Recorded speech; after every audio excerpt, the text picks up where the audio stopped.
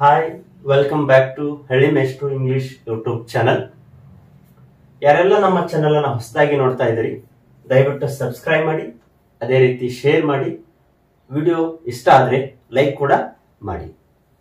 ಇವತ್ತಿನ ಒಂದು ಕಾನ್ಸೆಪ್ಟ್ ಏನಂತಂತಂದ್ರೆ ಮಸ್ಟ್ ಹ್ಯಾವ್ ಶುಡ್ ಹ್ಯಾವ್ ಅನ್ನ ಯಾವಾಗ ಉಪಯೋಗ ಮಾಡಬೇಕು, ಯಾವ ರೀತಿಯಾಗಿರ್ತಕ್ಕಂಥ ಕ್ರಿಯಾಪದಗಳನ್ನು ಉಪಯೋಗ ಮಾಡಿಕೊಂಡು ನಾವು ವಾಕ್ಯದಲ್ಲಿ ಬಳಸಬೇಕು ಅನ್ನೋದನ್ನ ನೋಡೋಣ. ನಾವು ಕೆಲವೊಂದ್ ಸಾರಿ ಈ ಹಿಂದೆ ಆಗಿರ್ತಕ್ಕಂಥ ಘಟನೆಗಳು, ಈ ಹಿಂದೆ ಮಾಡಿರ್ತಕ್ಕಂಥ ಕೆಲಸಗಳನ್ನ ನೆನೆಸ್ಕೊಂಡು ಅವುಗಳನ್ನ ಹೇಳ್ತಿರ್ತೇವೆ. ಏನಂತಂದ್ರ, ನಾ ಆ ಕೆಲಸವನ್ನ ಮಾಡಲೇಬೇಕಿತ್ತು. ಅಲ್ಲಿಗೆ ಹೋಗ್ಬೇಕಿತ್ತು.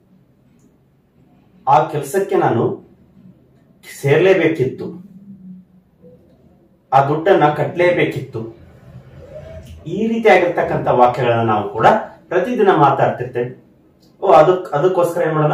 ಅದ್ರ ಬಗ್ಗೆ ಇವತ್ತ ತಿಳ್ಕೊಳ್ಳೋಣ. ಅದಕ್ಕಿಂತ ಮುಂಚೆ ನಾವು ಇಂಗ್ಲಿಷ್ ಅನ್ನೋದು ಕೂಡ ಯಾವುದೋ ಒಂದು ಭಾಷೆ. ಅದರ ಬಗ್ಗೆ ಏನಂತಂದ್ರೆ ಯಾವುದೇ ಭಯ ಬೇಡ. ನಮ್ಮ ಮಾತೃಭಾಷೆ ಕನ್ನಡದ ಮೂಲಕವೇ ನಾವು ಕೂಡ ಇಂಗ್ಲಿಷ್ ಅನ್ನ ಸರಳವಾಗಿ, ಸಿಂಪಲ್ ಆಗಿ ಮಾತಾಡ್ಬೋದು.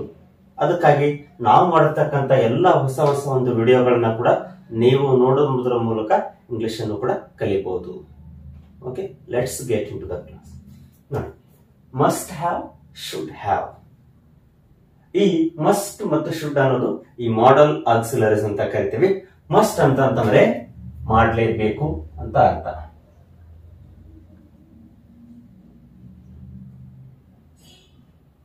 ಮಸ್ಟ್ ಅಂದ್ರೆ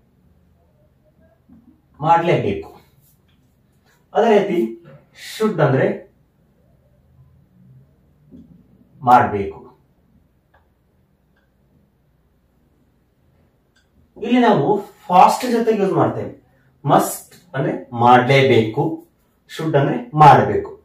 ಮಸ್ಟ್ ಹ್ಯಾವ್ ಅಂದ್ರೆ ಮಾಡಲೇಬೇಕಿತ್ತು ಶುಡ್ ಹ್ಯಾವ್ ಅಂದ್ರೆ ಮಾಡಬೇಕಿತ್ತು ಅಂತ ನಾವು ಹೇಳ್ತೀವಿ. ಇವು ಪ್ರೆಸೆಂಟ್ ಹೌದಾ? ಮಸ್ಟ್ ಹ್ಯಾವ್ ಅಂದ್ರೆ ಮಾಡಲೇಬೇಕಿತ್ತು ಮಸ್ಟ್ ಅಂದ್ರೆ ಮಾಡಲೇಬೇಕು. ಶುಡ್ ಅಂದ್ರೆ ಮಾಡಬೇಕಿತ್ತು. ಶುಡ್ ಹ್ಯಾವ್ ಅಂದ್ರೆ ಮಾಡಬೇಕಿತ್ತು ಅಂತ ಅರ್ಥ. ಹಾಗಾದ್ರೆ ಇದು ಸ್ಟ್ರಕ್ಚರ್ ಯಾವ ರೀತಿ ಆಗಿರುತ್ತೆ? ನೋಡೋಣ. ಸಬ್ಜೆಕ್ಟ್ ಅಂದ್ರೆ I we you they he she it ಇವುಗಳನ್ನ ನಾವು ಸಬ್ಜೆಕ್ಟ್ ಅಂತ ಕರಿತೇವೆ. ಹಿ ಶಿ ಇಟ್ಗಳ ಬದಲಾಗಿ ನೀವು ಹೆಸರನ್ನು ಕೂಡ ನೀವು ಬಳಸಬಹುದು ಅದರ ಜೊತೆಗೆ must have should have should have must have ಜೊತೆಗೆ ಕ್ರಿಯಾಪದದ ಮೂರನೇ ಒಂದು ರೂಪವನ್ನು ಬಳಸಿ ನಾವು ಈ ಹಿಂದೆ ನಾವು ಮಾಡಿರ್ತಕ್ಕಂಥ ಕೆಲಸಗಳ ಬಗ್ಗೆ ಒಂದು ನೆನಪಿಸಿಕೊಂಡು ಈ ರೀತಿ ಮಾತಾಡ್ಲಿಕ್ಕೆ ನಾವು ಅವುಗಳನ್ನ ನಾವು ಬಳಸ್ತೇವೆ. ಓಕೆ ಹಾಗಿದ್ರೆ ನೋಡೋಣ ಯಾವ ರೀತಿಯಾಗಿರ್ತಕ್ಕಂಥ ಅರ್ಥ ಇರ್ತವೆ ಅನ್ನೋದನ್ನ. ನೋಡಿ I should have eaten breakfast this morning ನೋಡಿ. ಐ ಶುಡ್ ಹ್ಯಾವ್ ಈಟನ್ ಇಲ್ಲಿ ಕ್ರಿಯಾಪದದ ಮೂಲ ರೂಪ ಸಾರಿ ಕ್ರಿಯಾಪದದ ಮೂರನೇ ರೂಪ. ವಿ ತ್ರೀ ಫಾರ್ಮ್ ನಾವು ಬಳಸಬೇಕು.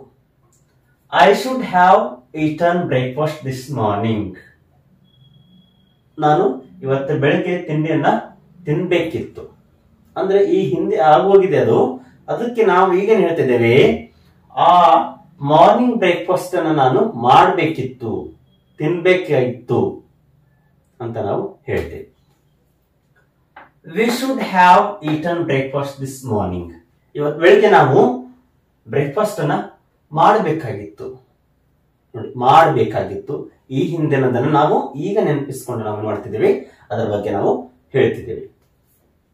You should have eaten breakfast this morning ನೀನು ಇವತ್ತು ಬೆಳಿಗ್ಗೆ ತಿಂಡಿಯನ್ನ ಮಾಡಬೇಕಿತ್ತು.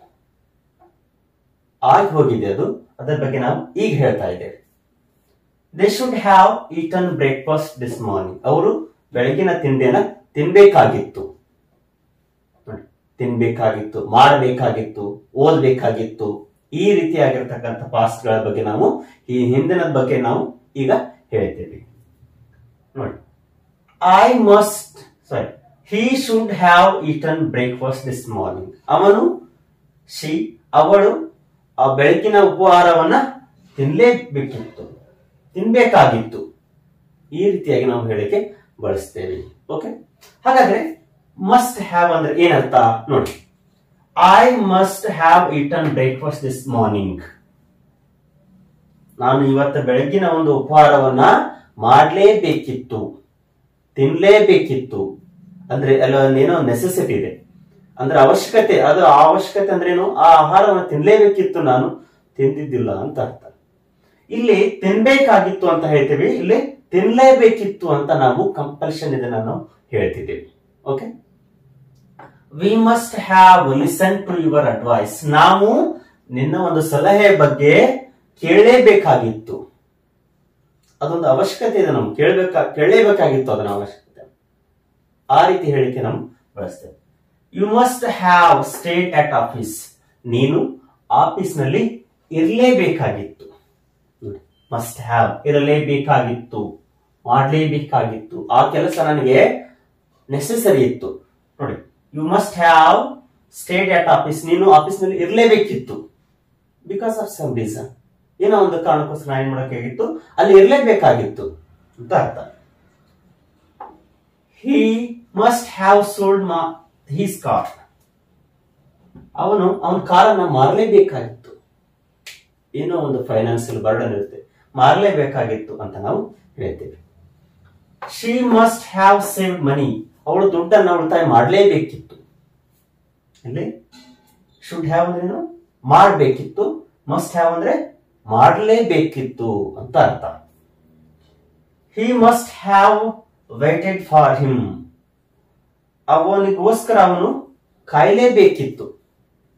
ಅಂದ್ರೆ ಅಲ್ಲಿ ನೆಸೆಸಿಟಿ ಬಗ್ಗೆ ನಾವು ಹೇಳ್ತಿದ್ದೀವಿ. ಇಲ್ಲಿ ಮಾಡಬೇಕಿತ್ತು ಅಂತ ನಮ್ಮ ಕರ್ತವ್ಯದ ಬಗ್ಗೆ ನಾವು ಹೇಳ್ತಿದ್ದೀವಿ. ಓಕೆ ಹಾಗಿದ್ರೆ ಇವುಗಳನ್ನ ನೆಗೆಟಿವ್ ರೂಪದಲ್ಲಿ ಯಾವ ರೀತಿಯಾಗಿ ಬಳಸೋದು ಅನ್ನೋದನ್ನು ಕೂಡ ನಾವು ನೋಡೋಣ. ನೋಡಿ. I should have sold my car I should have sold car ನನ್ನ ಕಾರನ್ನ ಮಾರಬೇಕಿತ್ತು. ಇದರ ಅರ್ಥ I shouldn't have sold my car negative ನೋಡಿ. I shouldn't should plus not ಇದರ ಶಾರ್ಟ್ ಫಾರ್ಮ್ ಶುಡಂಟ್ ನನ್ನ ಕಾರನ್ನು ಮಾರಬಾರ್ದಾಗಿತ್ತು. ಈ ರೀತಿಯಾಗಿರ್ತಕ್ಕಂಥ ಅರ್ಥ ಅನ್ಕೊಂಡು should I have sold a car ನನ್ನ ಕಾರನ್ನು ಮಾರಬೇಕಾಗಿತ್ತ? ಈ ರೀತಿಯಾಗಿರ್ತಕ್ಕಂಥ ನೆಗೆಟಿವ್ ಇಂಟ್ರಾಗೇಟಿವ್ ಅಂದ್ರೆ ಕ್ವಶನ್ ಮಾಡ್ತಾ ಇದ್ದೇವೆ. ಅದೇ ಮಸ್ಟ್ ಹ್ಯಾವ್ ಅಂದ್ರೆ ಏನ್ ಅರ್ಥ ಕೊಡುತ್ತೆ ಅನ್ನೋದನ್ನ ನೋಡೋಣ. She must have saved money ಅವಳು ಹಣವನ್ನ ಉಳಿತಾಯ ಮಾಡಲೇಬೇಕಿತ್ತು. ಅದೇ ರೀತಿ she mustn't have saved money ಅವಳು ದುಡ್ಡನ್ನು ಉಳಿಸಬೇಕಾಗಿರ್ತಕ್ಕಂಥ ಅವಶ್ಯಕತೆ ಇದ್ದಿದ್ದಿಲ್ಲ. ಈ ರೀತಿಯಾಗಿರ್ತಕ್ಕಂಥ ಅರ್ಥವನ್ನು must she have save money ಅವಳು ದುಡ್ಡನ್ನು ಉಳಿತಾಯ ಮಾಡಲೇಬೇಕಿತ್ತ? ಈ ರೀತಿಯಾಗಿರ್ತಕ್ಕಂಥ ಅರ್ಥವನ್ನು ಕೊಡುತ್ತೆ. ಒಂದ್ಸರಿ, ಇನ್ನೊಂದ್ಸರಿ ನೋಡ್ಕೊಂಡ I should have eaten breakfast this morning ನಾನು ಬೆಳಗ್ಗೆ ಉಪಹಾರನ ತಿನ್ಲೇಬೇಕಿತ್ತು. I must have eaten breakfast this morning ನೋಡಿ, ಅರ್ಥ ನೋಡಿ. ನಾನು ಬೆಳಗಿನ ಬ್ರೇಕ್ಫಾಸ್ಟ್ ಅನ್ನ ತಿನ್ಲೇಬೇಕಿತ್ತು. ಇಲ್ಲಿ ತಿನ್ಬೇಕಿತ್ತು, ಇಲ್ಲಿ ತಿನ್ಲೇಬೇಕಿತ್ತು ಅಂತ ಹೇಳಿ we must have listen to your advice ನಾವು ನಿನ್ನ ನಿಮ್ಮ ಸಲಹೆಯನ್ನ ಕೇಳಲೇಬೇಕಿತ್ತು. We should have listen to your advice ನಾವು ನಿಮ್ಮ ಸಲಹೆಗಳನ್ನ ಕೇಳಬೇಕಿತ್ತು. He must have sold his car ಅವನು ಅವನ ಕಾರನ್ನ ಮಾರಲೇಬೇಕಿತ್ತು. ಅದೇ ಅರ್ಥ ನೋಡ್ರಿ. He should have sold his car ಅವನು ಅವನ ಕಾರನ್ನು ಮಾರಬೇಕಿತ್ತು. ನೋಡಿ ಅರ್ಥ ನೀವೇ ನೋಡ್ಕೊ she should have save money ಅವಳು ದುಡ್ಡನ್ನು ಉಳಿಸಬೇಕಾಗಿತ್ತು ಕೈಕೊಳ್ಳಬೇಕಾಗಿತ್ತು she must have saved money ಅವಳ ದುಡ್ಡನ್ನ ಉಳಿತಾಯ ಮಾಡಲೇಬೇಕಿತ್ತು. ಈ ರೀತಿಯಾಗಿರ್ತಕ್ಕಂಥ ಅರ್ಥವನ್ನು ಇದು ಕೊಡ್ತದೆ. ಯಾವುದು? ಮಸ್ಟ್ ಹ್ಯಾವ್ ಮತ್ತು ಶುಡ್ ಹ್ಯಾವ್ ಅಂತಕ್ಕಂಥ ಒಂದು ಪದಗಳು. ಇವುಗಳನ್ನ ನಾವು ಸ್ಪೋಕನ್ ಇಂಗ್ಲಿಷ್ ಅಲ್ಲಿ ಜಾಸ್ತಿ ಬಳಸ್ತೇವೆ ಈ ಒಂದು ವಾಕ್ಯಗಳನ್ನು ಬಳಸ್ಕೊತಾ ಹೋದಾಗ ನಮಗೂ ಕೂಡ ಏನಂತಂದ್ರೆ ಈಸಿಯಾಗಿ ಇಂಗ್ಲಿಷ್ ಕೂಡ ಮಾತಾಡಲಿಕ್ಕೆ ಬರುತ್ತೆ. ಹಾಗಾದ್ರೆ ಇವತ್ತಿನ ಒಂದಿನ ಟಾಸ್ಕ್ ಏನಂತಂದ್ರೆ, ನೀವೇ ಈ ಒಂದು ವಾಕ್ಯಗಳನ್ನ ಮಸ್ಟ್ ಹ್ಯಾವ್ ಮತ್ತು ಶುಡ್ ಹ್ಯಾವ್ ಗಳನ್ನ ಬಳಸಿ, ನೀವೇ ಕಮೆಂಟ್ ಮುಖಾಂತರ ತಿಳಿಸಿ. ನಾನು ಇಂಗ್ಲಿಷ್ ಅನ್ನ ಕಲಿಲೇಬೇಕಿತ್ತು. ನಾನು ಇಂಗ್ಲಿಷ್ ಅನ್ನ ಕಲಿಲೇಬೇಕು. ಅವನು ಬ್ಯಾಂಕ್ಗೆ ಹೋಗಲೇಬೇಕಿತ್ತು. ಅವಳು ಇಲ್ಲಿಗೆ ಬರಬೇಕಿತ್ತು. ಓಕೆ ಈ ವಾಕ್ಯಗಳನ್ನು ನೀವು ಕೂಡ ಕಮೆಂಟ್ ಮುಖಾಂತರ ಯಾವ ರೀತಿಯಾಗಿ ಮಾಡ್ತೀರಿ ಅನ್ನೋದನ್ನು ಕೂಡ ಕಮೆಂಟ್ ಮುಖಾಂತರ ತಿಳಿಸಿ. ಅದೇ ರೀತಿ ನಾಳೆ ಒಂದು ಸಂಚಿಕೆ ಇದೇ ರೀತಿ ಬೇರೆ ಒಂದು ಕಾನ್ಸೆಪ್ಟ್ಗಳ ಜೊತೆಗೆ ನಿಮ್ ಜೊತೆಗೆ bye have a nice day